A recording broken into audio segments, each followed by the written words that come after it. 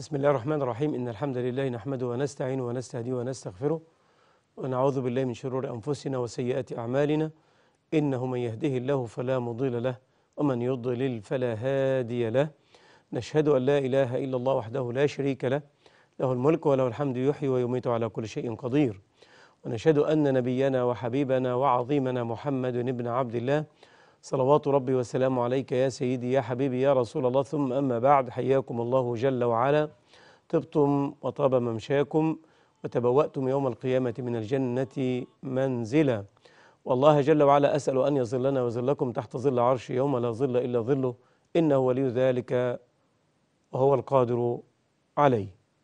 آه، بنجدد اللقاء في أنين أنين المسحورين. ولما بذكر كلمة أنين يعني توجع يعني ملاذة إلى الله تبارك وتعالى.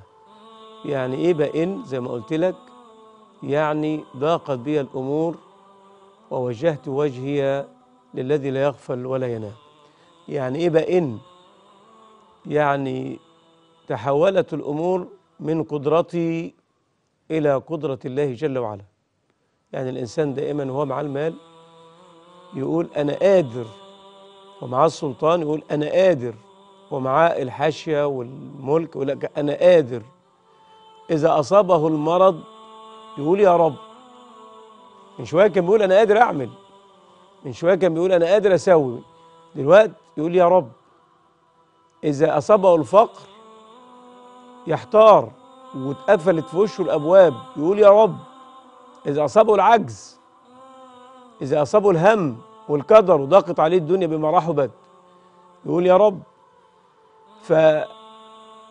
فتذكر ربك في الشدة في الرخاء يذكرك في وقت الشدة. تذكر ربك في الصحة يذكرك في المرض. تذكر ربك في القوة يذكرك في الضعف. فعشان كده بقول إن تجديد كلمة آنين كل حلقة شيء مش جديد علينا وعلى أسماعنا ولكن هو شيء متوارث.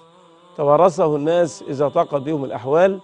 وأنا جمعت كلمة أنين ككلمة عامة يعني تصيب الإنسان في همه وفي مرضه وفي حزنه وفي ضيقه وفي فقره وفي كربه وفي مشاكله في كلمة أنين المسحورين لأن أكثر الأدواء لا يعلم ما مصدرها وما سببها وإذا بالناس المرضى والناس اللي عندهم هموم ومشاكل واللي عنده يعني أسباب مستعصية وضاقت به الدنيا فيلجأ أخيرا إلى باب من أبواب الرقية فيجد أن الأمر قد رفع بقدر الله عز وجل.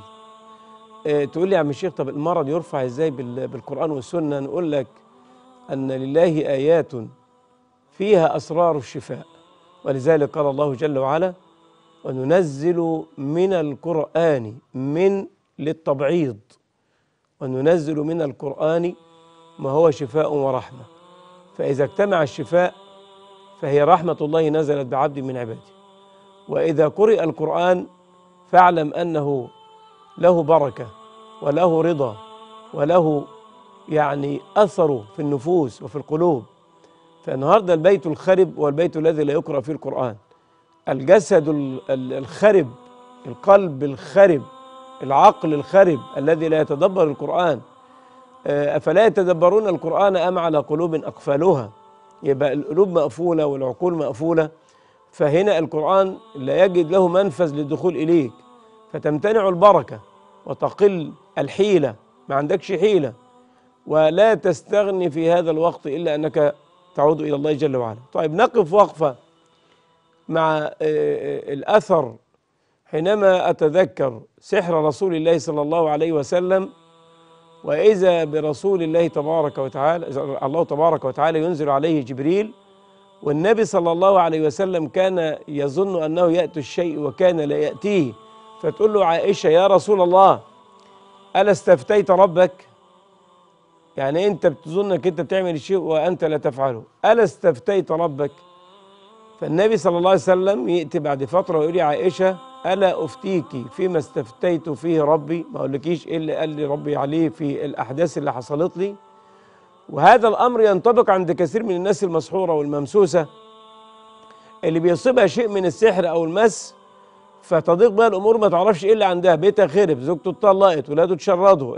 إذا كان في شغل اتطرد منه إذا كان في سفر رجع منه إذا كان بجاز أوراق للسفر أو للعمل اترفض الورق. إذا كان آه، يعني سبحان الله كان بيتمتع بصحة وعافية آه، جسمه حاطط في الأرض. إذا كان كانت مخطوبة آه، بفضل الله انفكت الخ- الخطوبة بتاعتها. إذا كان إذا كان إذا كان ويقف الإنسان عند حلول الظن.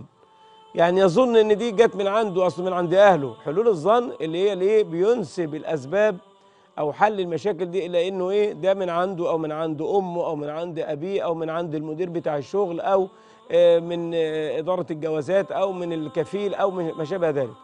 وإذا يفاجئ إن الأمور بتتعطل في كل مرة أو في كل خطوبة أو في كل عمل أو في كل منحى من مناحي الحياة يترك هذا المنحى فيجده إيه مقفول. طيب ما تيجي بدل ما ندور على الحل ناخد بأسباب التحصين. احفظ الله يحفظك احفظ الله تجده تجاهك. إذا سألت فاسأل الله وإذا استعنت فاستعن بالله.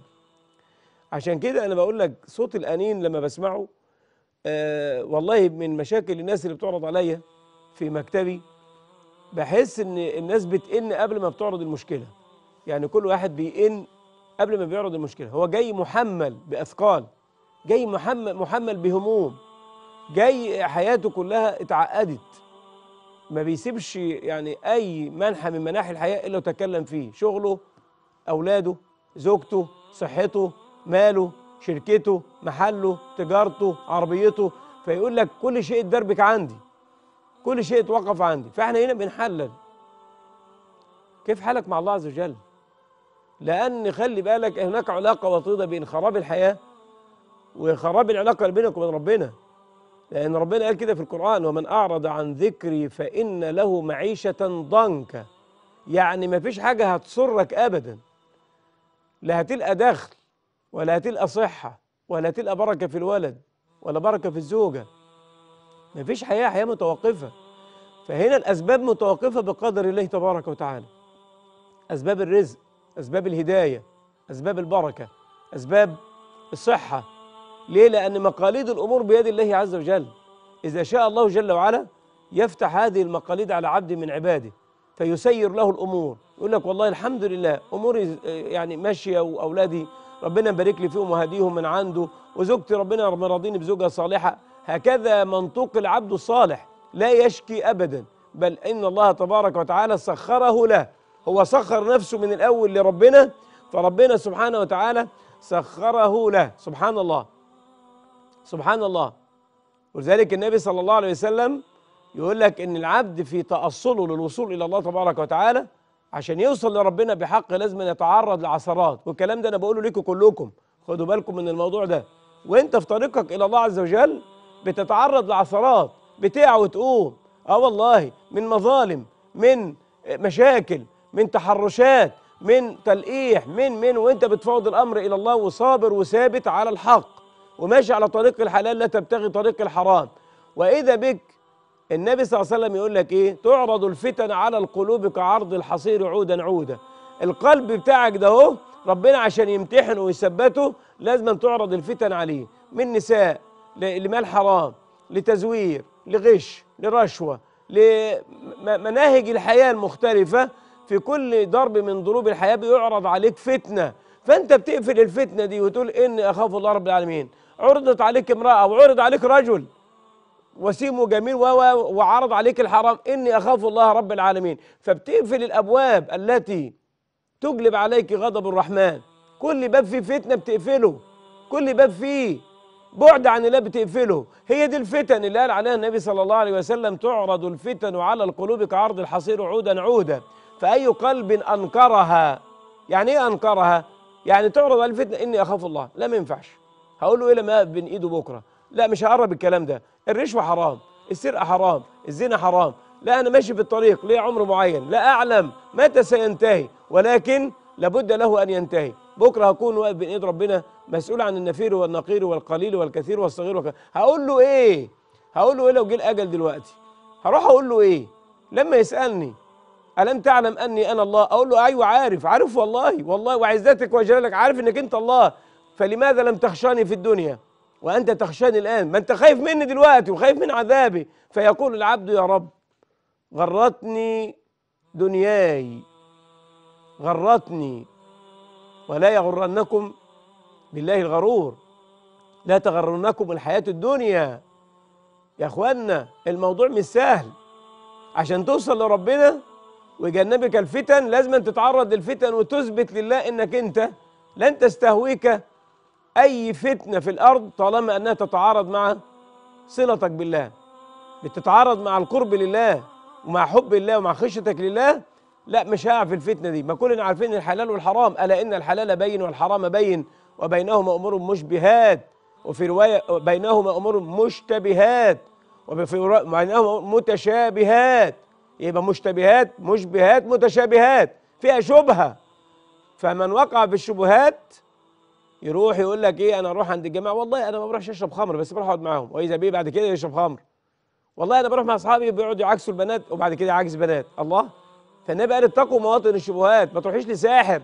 هتروحي لساحر مع صاحبتك عشان تعمل السحر.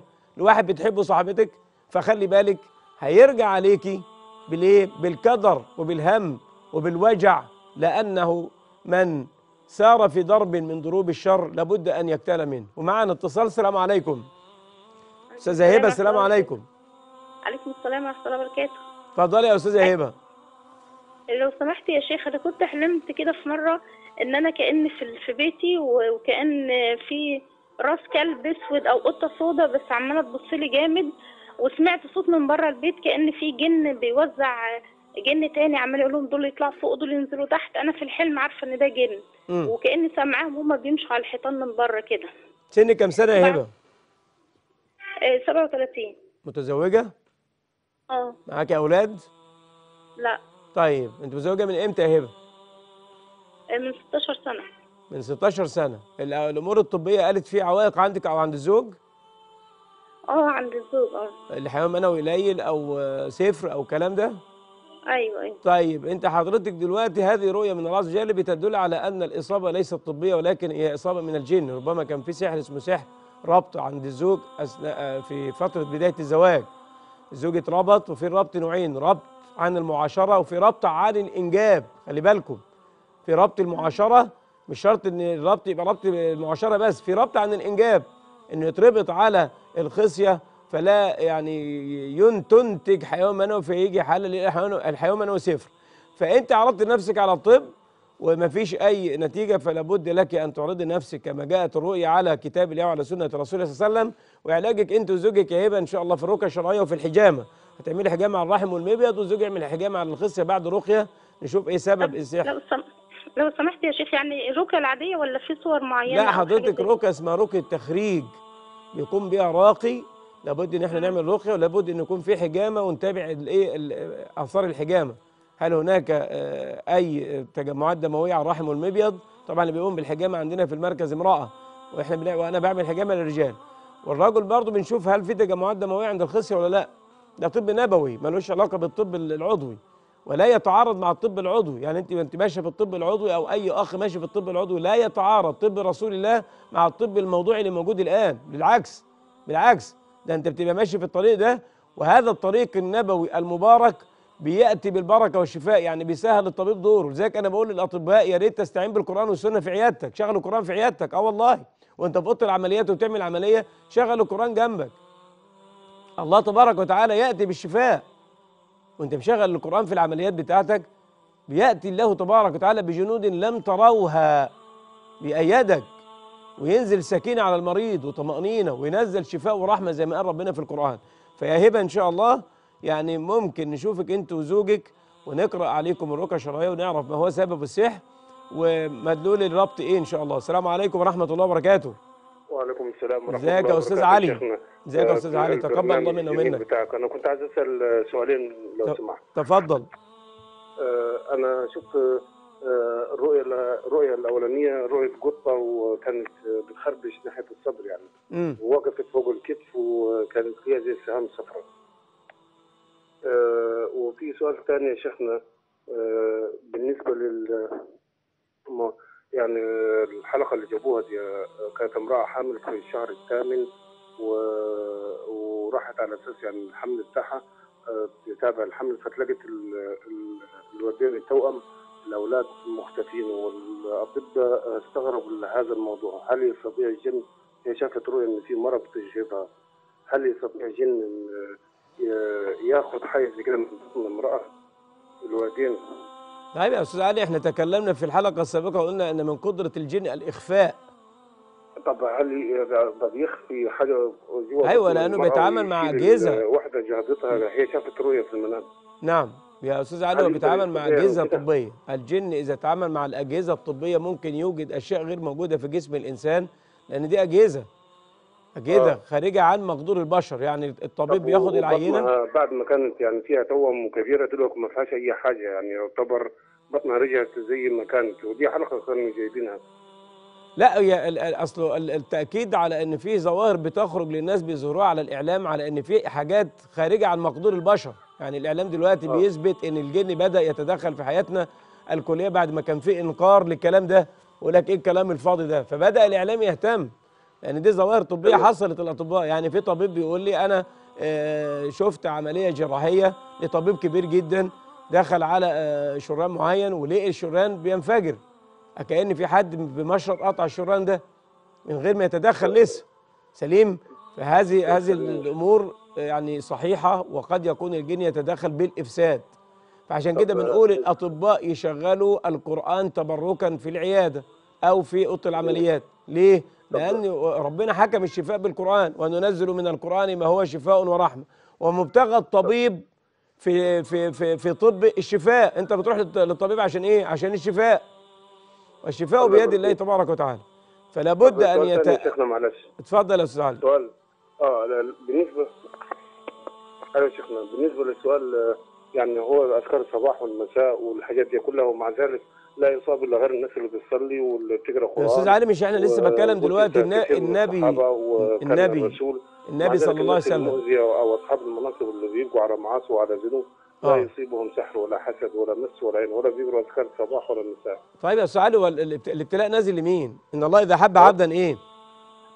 إن إيه؟ الله إذا حب عبدا إيه؟ ابتلاه صح؟ والحب هيكون لمين؟ الصباح والمساء وبدل أيوه الحب هيكون لمين؟ هيكون لأهل المناصب يعني وأهل الفن وأهل ال- العري وأهل آه أيوه لا. غير ما بيصابوش لا يا شيخنا هو ال ال الابتلاء لا يزال البلاء ينزل بالعبد حتى يخرج من ذنوبه كيوم ولدته امه فربنا بيبتلي العبد على قدر دينه فإذا كان في دينه صلابة شدد عليه في البلاء. ولله أن يبتلي عباده بما شاء وكيف شاء. فالله تبارك وتعالى يبتلي عباده بالأمراض وبالأسحار وبالعين وبالحسد. سليم انت لما تسمع ان العين بتقتل لكل أجل كتاب طب العين بتقتل إزاي؟ قدر ربنا كده مسبب له انه يموت بالعين. فالعين إذا أصابت العبد مات إن العين تدخل إيه؟ صاحبها القبر وتدخل القمر الجمل القدر. يبقى العين بتدخل المعيون القبر.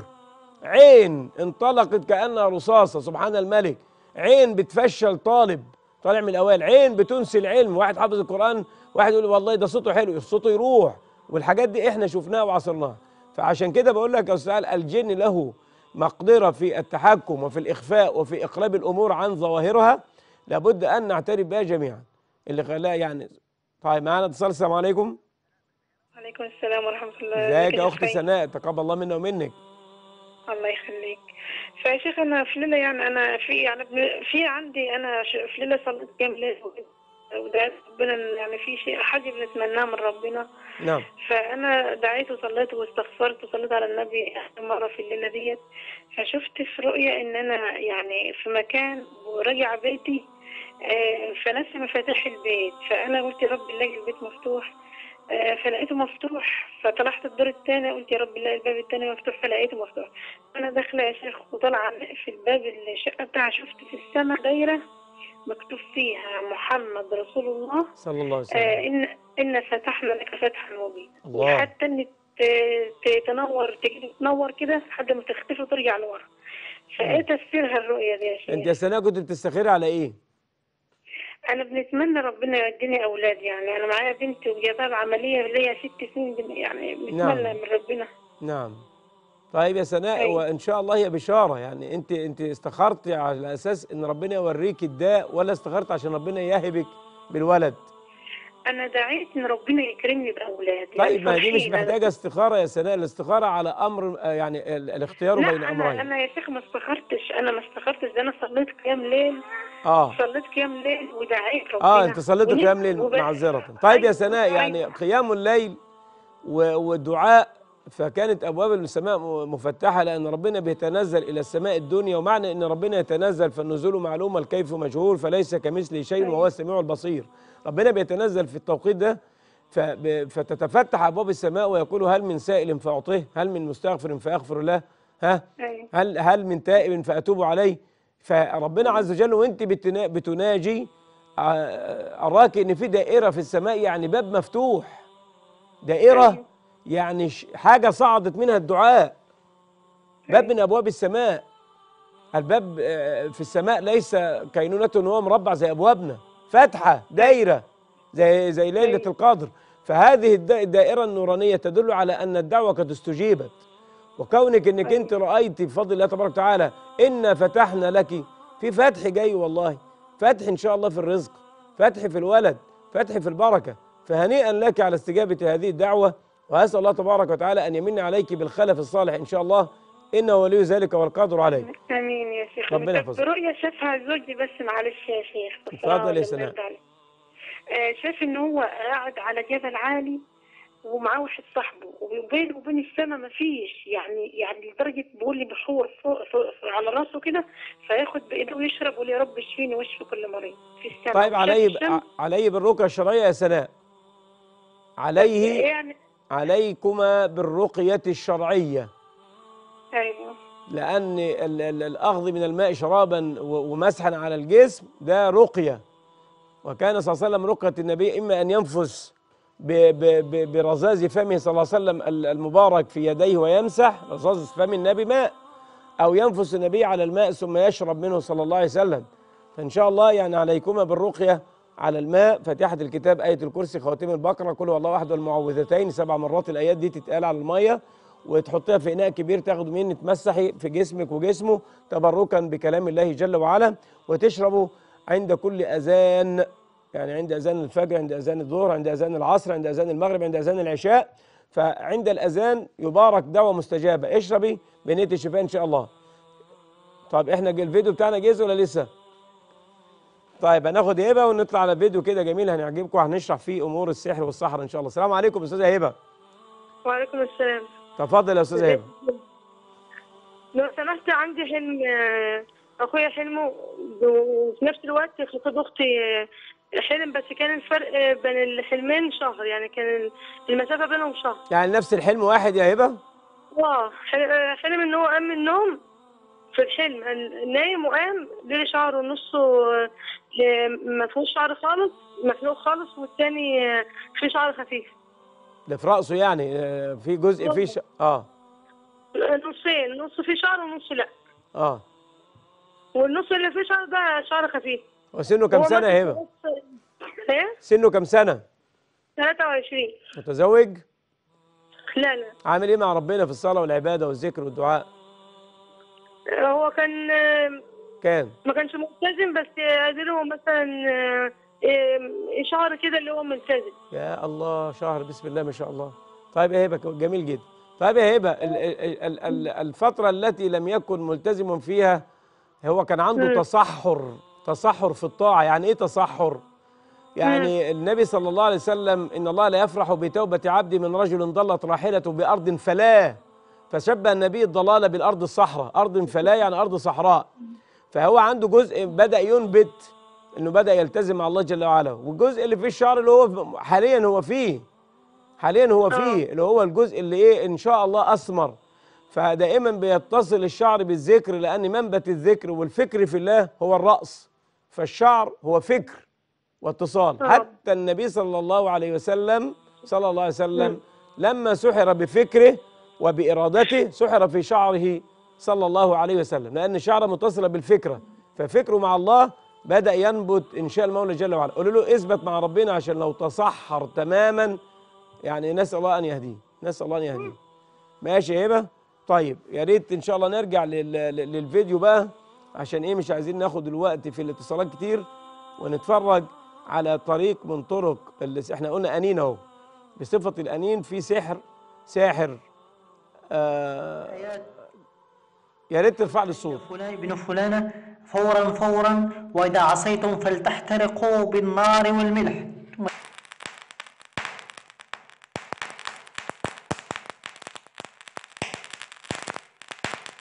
خد بالك يعني الكلام ده كلام من داخل بيت ساحر للتفريق بين زوجين أعوذ بالله من الشيطان الرجيم بسم المكونات. الله الرحمن الرحيم. والمكونات معكم الشيخ الروحاني سيفوزان في موضوع جديد وفي طلب جديد. نعم. طلبتموه مني وهو جلب الحبيب مم. بالملح. ده الموضوع اللي ولا منتشر يكون على التلفزيون. ولا من المغرب العربي جلب الحبيب ورد المطلقة وكلام الأهبل. الحصول عليها اسمع المكونات. الملح يا جماعة. اللي بيقولوا إحنا رشينا البيت بالملح. هذه. وأنا اسمع عندي ولا في نفس الوقت طلبتم مني أن يكون هذا أنا بحذر الناس من استخدام الملح في رش البيت استخدام الملح. يقول لك أنا استحميت. مية بملح. ويأتي بنتيجة سريعة. آه. الملح كما يحبه الجن. وده حديث أقول لك عليه عن النبي صلى الله عليه وسلم الآن. بأنه يعني أنا لا أدع لكم عمل إلا إذا كان فعال وإذا كان مجرب صحيح. آه. كلكم تعرفونني. وهذا العمل إذا لم يشتغل لك هذا العمل. امم الراجل هيسيب الدنيا سوف ويروح ينتحر. من هذه القناة. أيوه. وسوف أتخلى عن صفتي كشيخ نعم. روحاني. نعم. وسوف أذهب لأعمل حطابا في أدغال طبعا. يا أخي توكل على الله الله لا يرجعك سبحان الملك روحانيا من جديد. الراجل بيقول يعني إن أنا ب- أخذ- ب- ب- أخذته مستطيع إن أنا. اجلب أي امرأة يرجع شخص أو منكم اجلب مشتكى اي رجل ومستطيع العمل إن أنا. أطلق أي امرأة بالعمل العمل ده وجرب؟ يدرس سحر على على القناه بتاعته اسمع. كاملة. آه. تكون ليست فيها لا كتابة من هنا ولا من هنا. نعم. يعني أحضر ورقة من مكتبة تكون جديدة. نعم. ورقة بيضاء. المقادير. ملعقة صغيرة. قلم عادي كما كان. نعم. وملح خشن. ملح خشن. لا يحتاج بخور لا يحتاج رب آه، آه، حبر روحاني مروحا. ولا يحتاج لا حول. ولا قوة وفي إلا نفس بالله الوقت العلي فعال العظيم جدا.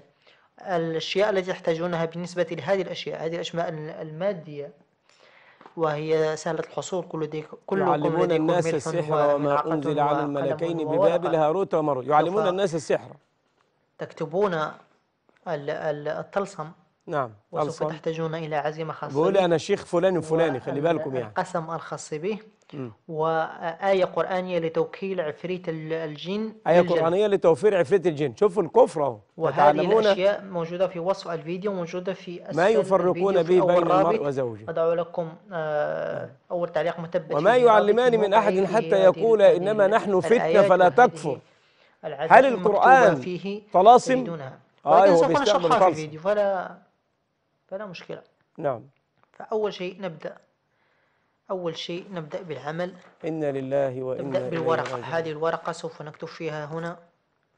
سوف نكتب فيها هنا الطلسم إنا لله وإنا إليه راجعون. على عرض هكذا على عرض. عشان تعرف الأسحار أنا بتتعمل سوف إزاي. أضع هذا العمل تطبيقي وأنا لأنني نعم، سوف أطبق نعم. هذا العمل وأحرقه. نعم. سوف أكتب ال- الطلسم مفصول عن العمل. أنا سوف أكمل اللي إحنا اتكلمنا عليه في السابقة للكتابة سحر سوف أفصلها في الحرف وسحر التبسيط وسحر التكسير وسحر العزائم وسحر التنجيم يجمعهم في ويبدأ جنا يستخدم بشيء يحبها الجن من البخور. النهاردة شيء. جايب لك أن المعلومة اللي على العبادة. أن الملح يحبه. الجن. ولذلك النبي صلى الله عليه وسلم في بيعة العقبة قال الجن صف لنا طعاما يا رسول الله. قال طعامكم الملح والعظم. على هذه الورقة. البيضاء ماشي. يا ام المطهر رش الملح سبع مرات والواد يطلع ملعون وراكبه 60 تكتب جن هذه الرموز هذه الحروف. ال- ال- البدع اللي طالعة. عندنا. رش ملح سبع مرات يطلع راكبه 70 جن عشان نبطل بس سيالات الملح. أصل والله يا عم الشيخ ده أنا رشيت البيت بالماء يا ست الملح ده بتاع الأكل والله ما له علاقة بال- يا بالجن والعفاريت. والكلام. ثم آه. صاد ثم حاء آه. ثم مع سق ما انظر بقى عشان ما تقولش أنا آه. بفتح الورقه بقى إيه قرانيه ده أنا بقى قران يا. شيخ. لا هو هو بيست يسخر من القرآن. بيعمل القرآن طلاسم. يا مقصورة صاد حاء آه. هكذا يفرط مع سق كلام الله جل وعلا الذي نزل متشابكا ليستهزئ بكلام الله جل وعلا. انظر. الطريقة هاء طويلة. هذا هو الطلسم. ثم؟ يعني إيه طلسم؟ يعني آه كفر. هكذا. كفر. ثم حاء. آه. تكتب حعال نعم. عفوا. ح يضع. حروفا منفصلة الاسم واسم الأم زي هذا ما قلت هذا هو الكتابة يحتاجها. سهل الكتابة. هذه ستكتبها هنا. وتجي لي بقى الاخت تقول لي يا عم الشيخ أنا دخلت على النت على اليوتيوب وجبت. آه، وقعدت أعمل زي ما هو قال والله يا عم أيوة، الشيخ لكم لقيت ركبنا عفريت. وركب البيت الرابط والعيل موجود يقول في لي يا وصف ست أنت الفيديو داخله تتعلم إيه أصل أنا بحبه فلان وعايز أجيبه جبتيه ابدا ده أنا حياتي كلها انتهت يكتبها اتدمرت نفسيا وعصبيا للفيديو. البيت بيرزع. آه والله ليه؟ لأن هؤلاء؟ يعلمون الناس السحر وما أنزل يعلمون الناس. السحر ثم ليه بتخش على شيء آه، يعني. لا تعلمه. ويجيبوا والله. المالح ويقعد يطقطق بالليل ويقعد يعمل وعايز بقى يشوف الجن وفجأة يتعفرط هو والبيت ويجي يجري يقول تأخذ لي حقني يا الخشن والملعقة اتفضل. بالملعقة وليس بيدك مقادير السحر. ضع ملعقتين من الملح على هنا. آه اتفضل يا سيدي. آه والله ع- طعام الجن والله. حديث النبي صلى الله عليه وسلم ثم- العقبة صف لنا. طعاما يا رسول الله قال طعامكم بالملح والعظم ثم؟ فكأنما يغذي. الجني على الطلسم اللي هو كفر بآيات الله لكي يصنع سحر القلب خمسة. والمحبة ورد المطلقة. وتسهيل الرزق. ستة. تسهيل الرزق يا ابن الأرزاق بيد الله. ما كانش يسهل الرزق بالقرآن مش هيسهل إذا ما كانش الأبواب تتفتح بالقرآن مش هتتفتح. إذا كانت البنت مش هترجع لجوزها مش هترجع إلا بكتاب الله عز وجل. آه والله. قلوب العباد بين أصبعين من أصبع من الرحمن. الملح ماذا تفعل؟ شنو تفعل؟ أول شيء تعزم على هذه تعزم. علم. العزائم اللي إحنا اتكلمنا عليه. استخدم علم اسمه علم كل واحدة العزائم. تأخذ منها قليل فقط. تأخذ منها بضعة حبات. نعم. ثم تقرأ عليها العزيمة بفمك مرة م. واحدة والعزيمة موجودة في وصف الفيديو وأسفل. آه، تعليق مثبت. أنتم تعرفون أين أضع العزائم لأنني لا أضعها في الفيديو.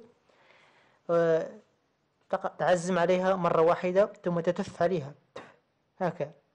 هكذا. تتف عليها وليس تبصق والله تف. يعني ثم كلام نفس الأمر. كلام يعني إن خرج من فم هذا الرجل فإنما هي محاربة لله ورسوله. عليه. هكذا. هذا كلام لا يليق ثم هكذا. ثم هنا مع ثم أمة هنا ثم محمد صلى ثم الله عليه. وسلم آه، ولا يليق مع آداب القرآن والسنة. مرات. بدل ما يعني هم عزائم أقول كل- اقرأ عزيمة القرآن لكل ورتل القرآن ترتيلا. وهم سبعة في المجموع. بدل ما أقول هات ملح هتجيب؟ بخور جميل. النبي صلى الله عليه وسلم كان يجمر بيته صلى الله عليه وسلم. تجمير. البيت حتى الميت. النبي صلى الله عليه وسلم قال في لما ماتت زينب بنت الرسول صلى الله عليه وسلم قال للمغسلات جمروها ثلاثا في الوسط. جمروها. يعني بخروها. بخور الطيب ذو الرائحة الطيبة يجلب الملائكة ويطرد الشياطين. لكن ملح قلنا ان هو بيهيج الجن. وتضع عليه ما هو الملح؟ بيهيج الجن. لما لون الملح بتوكيل- والجن يلعق الماء على الأرض الجن. ويتكاثر في هذا المكان. بعد ذلك توكل آه، ف- عفريت الجن بالجلب. وتوكله بآية من إنه القرآن كان رجال من الإنس سورة برجال من الجن. فزادوهم رهقا تضع يدك اليمنى. هكذا وتوكله وتقول أيوة. الآية الآية رقم 39 وترددها لمدة 39 مرة. تقول قال عفريت من الجن أنا أتيك به قبل أن تقوم من مقامك وإني عليه لقوي مبين.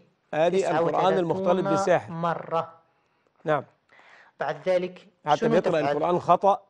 طبعا هو مش حافظ القرآن هو بيستهينه بالقرآن. بلفه ويبدأ بقى علم. إيه؟ علم التبسيط اللي هو لف الورقة هو. ثم سوف تقرأ عليها التوكيل بالشخص المطلوب. أيوه. بالشخص المطلوب. اسمعوا ماذا يفعل هؤلاء. في عقول البشر.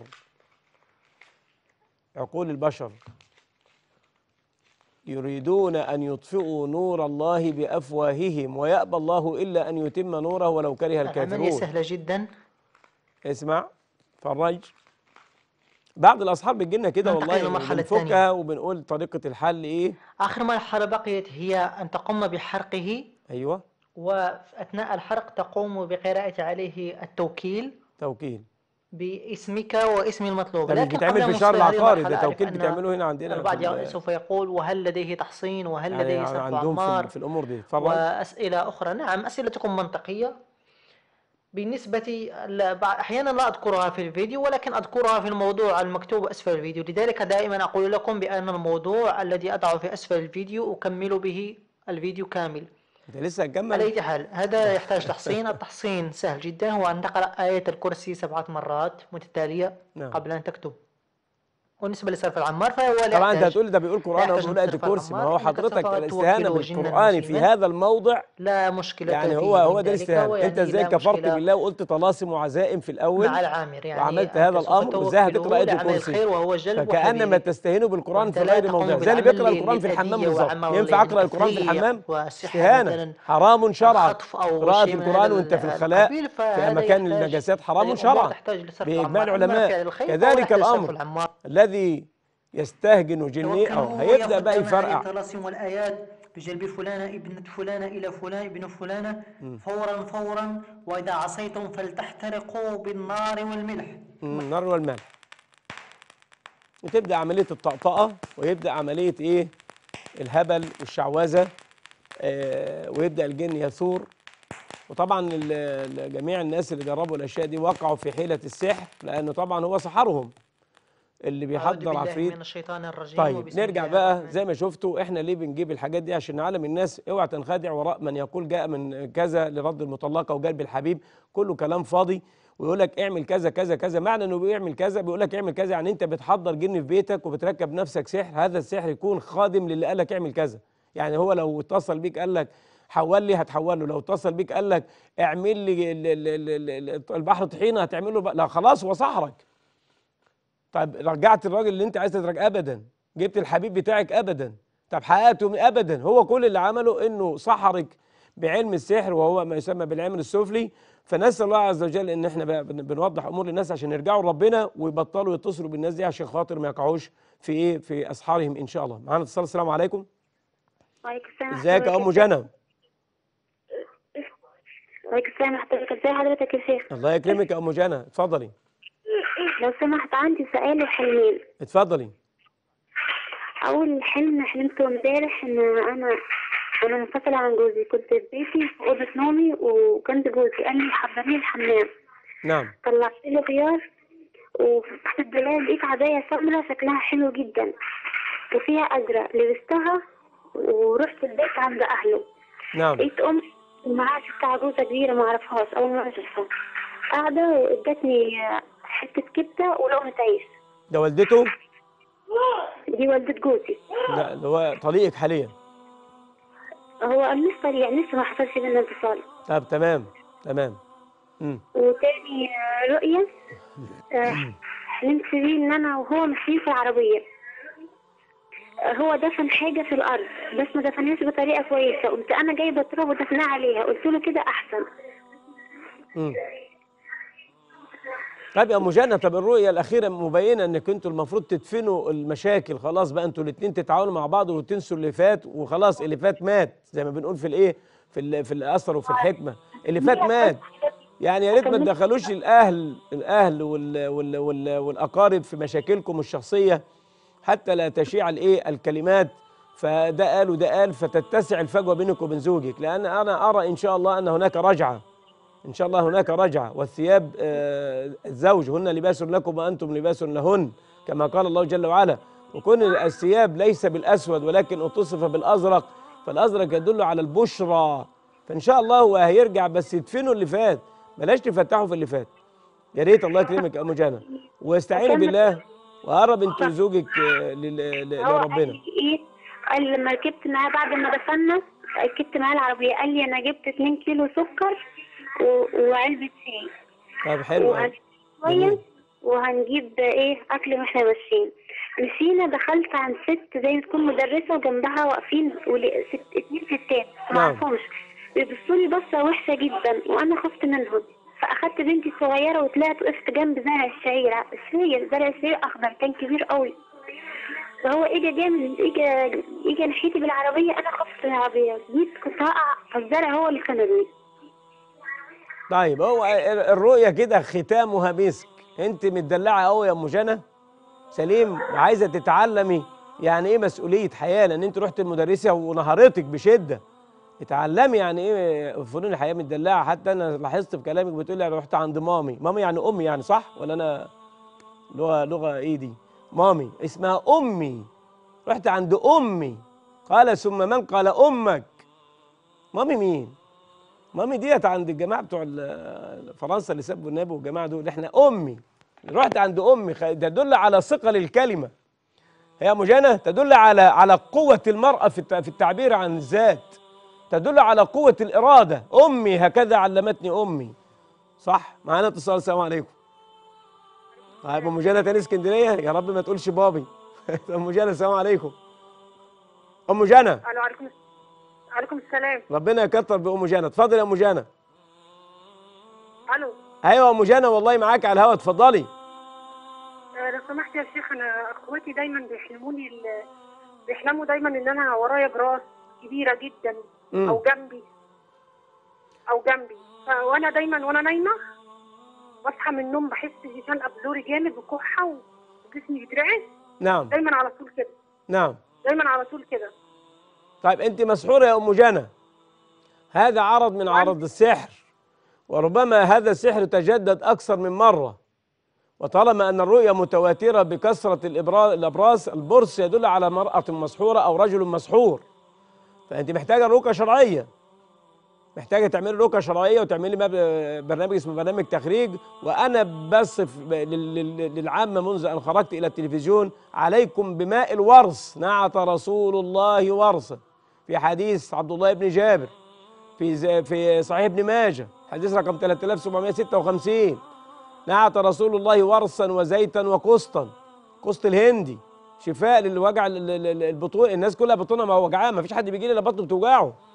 يعني ضيق في التنفس وبطنه بتتقطع والكلام ده كله ده مقترن بالأسحار والحسد والعين وآفات القلوب اللي أعيتنا كلنا. فلابد لنا من رجع الله عز وجل. إن شاء الله يوم جانا عندك سحر ولابد من علاج لأن السحر متجدد إن شاء الله. السلام عليكم. إزيك يا أم يوسف؟ عليكم السلام. ورحمة الله وبركاته. لو سمحتي حضرة الشيخ أنا عندي رؤيتين بيتكرروا معايا على طول. أيوه يا أم يوسف تفضلي. أول رؤية إن أنا بحلم إنني ماشية في مكان زي ضلمة و...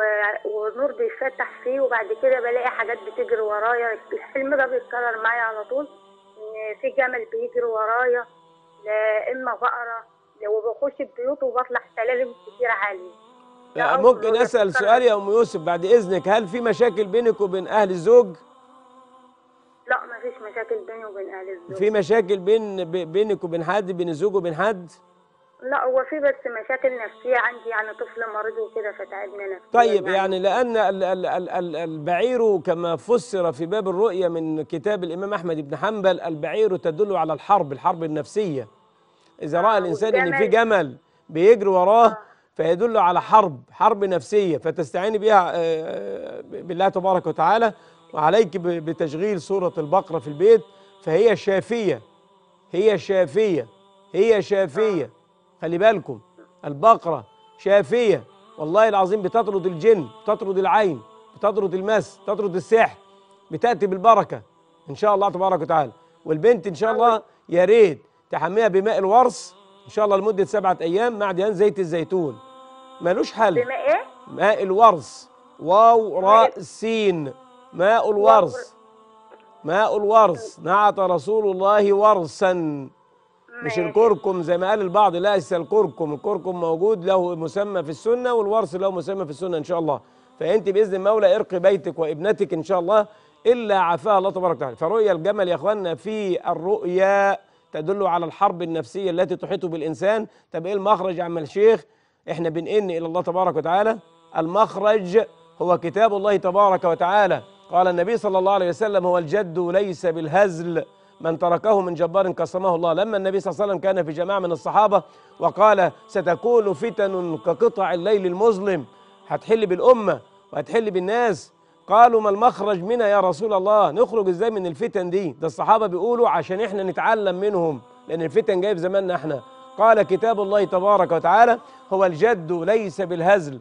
من تركه من جبار قسمه الله ومن ابتغى الهدى في غيره أضله الله. فاحنا لو ابتغينا الهدى في العم الشيخ الترمساني ده اللي جاي لي بيقول لك مجربة وعليا كذا بكذا لو ما نفعتش لا لا سيبكم أروح أعيش في الأدغال أجمع حطب. ما تروح يا عم تجمع حطب. يا عم روح اجمع حطب. ليه انت بتدرس الناس سموم الله يهديك؟ اللي إحنا عرضناه في الفيديو. معانا اتصال السلام عليكم. عليكم السلام ورحمة الله وبركاته. ازيك يا أستاذ نور؟ تقبل الله منا ومنك. آمين يا رب. والله العظيم آه، بشكرك كثير على البرنامج. والله بستنى من أسبوع لأسبوع البرنامج دي الله يتقبل منا ومنك يا رب صالح الأعمال. كلنا مجموعين كده على التلفزيون ومتعاملين لا ده حب. هو إحنا بنجتمع حب والله. آمين. ربنا يزيدهم في حسنات يا حسناتك رب. يا رب يا رب. يا, يا رب, رب آه عندي رؤية يا شيخ بس عندي مشكلة كده. يعني بحس بصدري وجع كتير كتير وبحس سخونة سخنة كتير في رجلي اليسرى يعني. نعم. قدم اليو... في قدم اليسرى. حاجة كده سخنة حرارتها كده مرتفعة معرفش ليه. هذه عين عائن. هذه عين آه. عين الحرارة الشديدة في أحد الأطراف تدل على عين لأن العين جمرة من النار تصيب القدم أو الإيد بحرارة شديدة فأنت محتاجة رقية بحجامة إن شاء الله. آه بس الوجع اللي في الصدر دي. ما هو حضرتك أنت محتاجة رقية عامة أنت أنت معيونة فمحتاجة رقية إن شاء الله سيزولها أنا أنا قبل أنا قبل كده كان معمول لي عمل يعني وقعدت جلسات عند الشيخ يعني ما ممكن يكون و- آه. الس- السحر يا أخت نور السحر يفك ولكن العين ما زالت موجودة لأن لا يسحر إلا حاقد لا يسحر إلا آه. حاقد عائن دائما كده المسحور بنعالجه من العين تباعا يعني هنعالج السحر الأول وبعدين العين لأنه لا آه. يسحر لا لبيد بن أعصم كان حاقد على النبي صلى الله عليه. وسلم سحر النبي وبدأ النبي يرقي نفسه من عين بعدها آه. صلى الله عليه وسلم. فيا ريت إن شاء الله أنت ممكن إيه ن- يعني نراكي ماشي. نشوف هل هناك شق من السحر موجود ولا هي العين ما زالت موجودة إن شاء الله. آه بس معي رؤية معلش تفضلي معي. تفضلي. آه حلمت حلمت يا شيخ لو أني طالعة كده مع في شارع كده معايا كاسة حليب. تقريبا وقعت منه تكبت يعني. فضلت ماشية هيك وبدأت اتقيأ يعني قدرات عزك الله واتقيأ حتة حتة حتة كبيرة. بعدين حتة صغيرة صغيرة صغيرة لما وصلت ماما. يعني كانت ماما متوفية يعني حقيقة متوفية رحمة بعد. الله عليها. وصلت نعم. وصلت الله يجزيك الخير. بس لما وصلت ماما يعني وحكيت لها ماما بصي بصي أنا عايزة أروح الدكتور ومش عارفة إيه بحس الدنيا يعني ليل والساعة 12 بالليل وكده. فحسيت إنه آه، بدي آه، أهلك يعني من التقيؤ ده فقلت يا رب تبت إليك يا رب تبت إليك. فصحيت يعني وصحيت الله كتير الله. تبنا إلى وخير. الله ورجعنا إلى الله. وأنا أرى أن التقيؤ هو تخريج مادة السحر لأن هناك علاج السحر وهناك تخريج مادة السحر. علاج السحر اللي هو يعني يعني آه، آه، انفكاك ال- الجن المكلف بالسحر عن الجسم. لكن هناك مادة السحر لا تزال موجودة فلا بد من رقية التخريج. وهذه الرقية لا يفعلها كثير من الايه من من أهل ال- ال- الرقية. رقية التخريج بتكون عن طريق الوخز. الوخز في هذا آه. الجانب الأيمن من العين. هنا أهو في المكان ده. اشمعنى؟ لأن هذا المكان هو أكثر مكان يتركز فيه الجن. وذلك زمان كان يقول لك إيه أنا أخرج من عينيها. والنبي لما سحر كاد النبي أن يفقد بصره فأقرب نطق لتخريج مادة السحر بجنب العين اليمنى. واشمعنى العين اليمنى؟ لأن تيمنوا فإن في اليمين بركة. بناخد الجنب آه، اليمين لأن هو البركة وهو ده التخريج. التخريج بإبرة سكر في الجنب اليمين من العين مع الرقية أخرج عدو الله اخسى عدو الله. هكذا قال رسول الله صلى الله عليه وسلم. فأنت محتاجة لتخريج يا أخت نور. آه. محتاجة لرقية تخريج ومحتاجة لتحصين ومحتاجة لرقية العين إن شاء الله. إن شاء الله. بس معلش كمان بحلم كتير إني بقعد أعيط. يعني كتير كتير بصحى إيه كأني بعيط. أنت. أنت يا نور مكتئبة. أنت عندك آه. في شيء من الكآبة موجود حتى من خلال الصوت فمحتاجة لتفويض الأمر إلى الله واستبشري. آه كتير. عشان بس عشان والدتي توفي يعني كلنا هنموت يا نور. كده. أليس رسول الله؟ ولو أن الدنيا تدوم لأهلها لكان رسول الله حيا وميتا. ولكنها تفنى ويفنى نعيمها وتبقى الذنوب والمعاصي كما هي. صلى على رسول الله. عليه الصلاة والسلام. آه. صلى على بس رسول الله. والدتي يعني والدتي وال- والدة يعني الفراق صعب. والله يعني ليس يعني فراق جلل إلا فراق النبي صلى الله عليه وسلم. فاستعيني. بالله وكلنا إلى الله راجع. يا رب. كلنا يرحم إلى يا الله. راجع. وأنت عليك بالدعاء. برها في في الآخرة بالدعاء لها إن شاء الله. بإذن المولى. فإحنا إن شاء الله تبارك وتعالى آه، نصيحة النهاردة بعد الفيديو اللي إحنا قدمناه لا تثقوا في أحد إلا إذا كان ناصحا أمينا داعيا إلى الله جل وعلا. سيبوكم موضوع جاء لرد المطلقة وجلب الحبيب كل دول بيدرسوا أسحار عبر الهاتف. ممكن تصيبك وأولادك وبيتك وجسمك ومالك وشركتك وعربية آه والله. وفي الآخر بتكون يعني يعني حص- حصالة للساحر ده بيجيبك عن طريق السحر اللي هو علمه لك عشان يستقطبك به وفي الآخر لا يسعنا إلا أن أقول لكم شفاكم الله أواكم الله نصركم الله حفظكم الله حصنكم الله. إلى أن ألقاكم يوم السبت القادم إن شاء الله في تمام الساعة الثامنة- مساء. أترككم في رعاية الله من وكرمه وأرجو أنا بتلقى الرسائل على الواتس لموضوع العلاج بالقرآن. الأخوة اللي بيقولوا تفسير أحلام لا أفسر أحلام على الواتس تماما. أي حد عنده مشكلة أو فتوى أو علاج يعني مشكلة في العلاج بالقرآن إن شاء الله أتلقاها على الواتس. فإلى أن ألقاكم أقول لكم السلام عليكم ورحمة الله تعالى وبركاته.